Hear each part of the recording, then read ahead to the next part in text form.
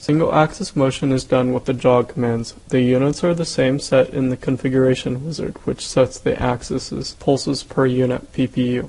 Jogging uses jog ACC for the acceleration ramp, jog DEC DEC for jog deceleration, and jog VEL for setting the jog velocity.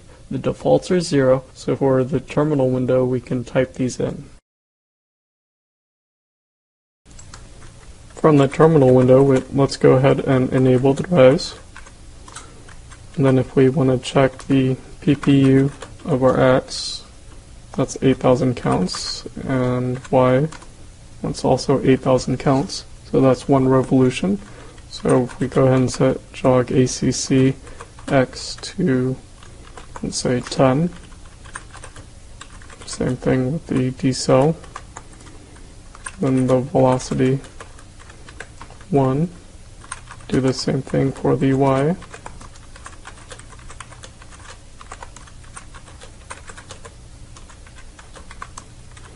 Then if we want to jog forward x, and jog forward y. And then if we want to turn that off, Or if we want to do both at the same time, we can just separate x and y with a space. And then we can turn them off individually. Or at the same time.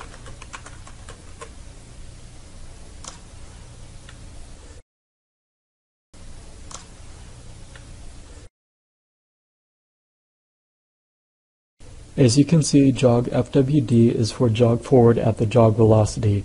Jog rev is for jog reverse. Jog off decels at the jog deceleration rate to stop. To stop motion in the terminal window immediately, hold Control and type X.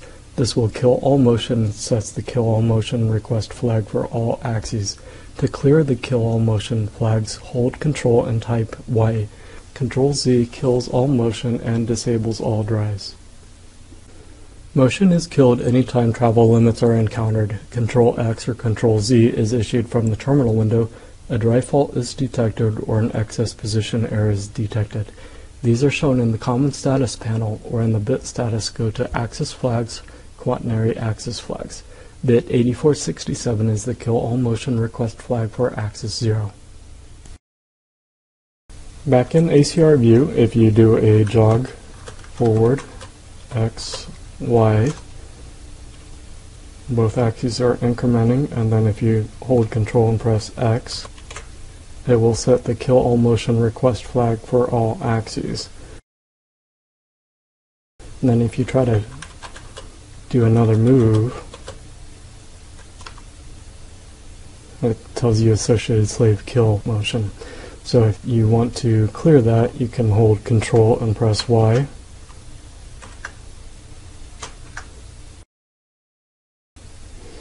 and then you're able to jog forward again.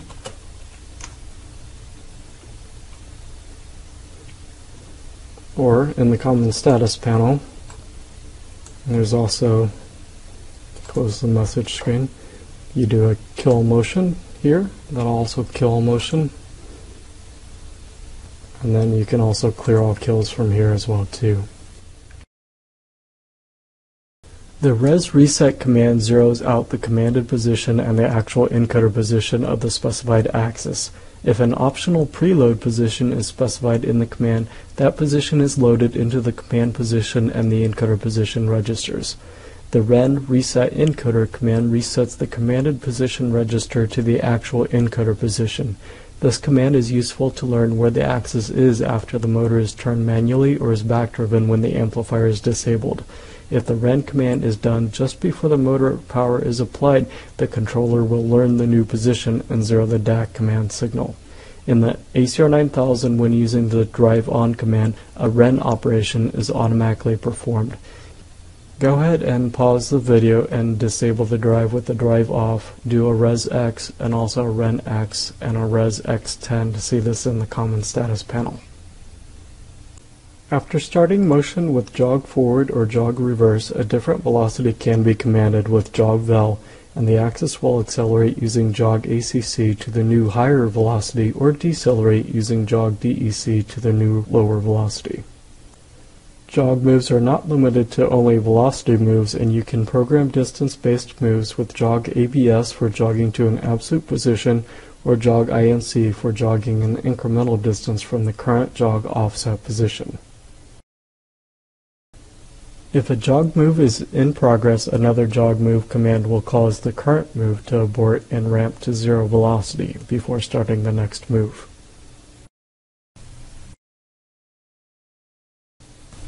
To see this in ACR view, go ahead and do a jog vel x10 and do a jog forward x.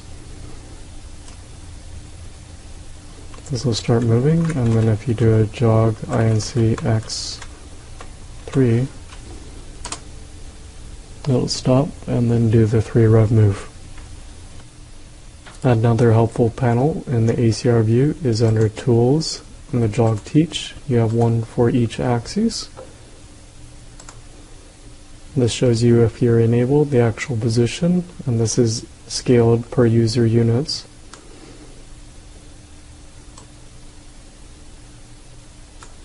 This will jog while held for this radio button, and then the incremental, you can do an incremental distance either in the positive or the negative. You can stop the move in the middle of it as well too.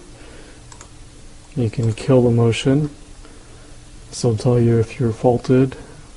You can clear the kills, then re-enable. If you want to zero the position, you can do it there as well too, and you can also do homing.